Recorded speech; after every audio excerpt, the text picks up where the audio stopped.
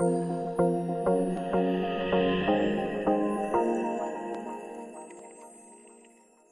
there, this is AmCan Tech. In today's video, I'm going to show you some issues with the Asus PG279QE.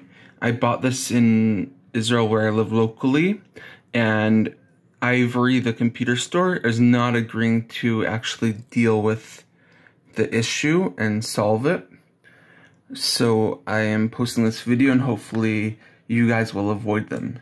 If you leave your computer screen on for a certain amount of time, it starts to build up this line of pixels. I don't know if you see it like that.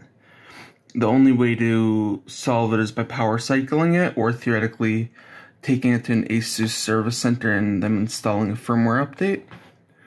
Uh, it just gets irritating after you're watching a movie or playing a video game for a while. Let's uh, show you the lock login screen. There you could see it more. And eventually this, uh, supposedly this is a issue with NVIDIA G-Sync because I'm using a 2070 Super and I'm on 144 hertz. Apparently if you lower it down it'll also solve this issue, but I bought this computer screen and it's quite expensive so I might as well use it at the, I guess the hertz that it could put out. Uh, and if you check my other videos, I have an initial review of the screen and also kind of a background of my computer and the hardware inside.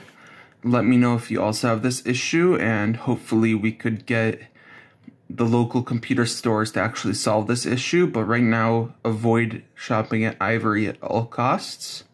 And, and subscribe to see more videos like this.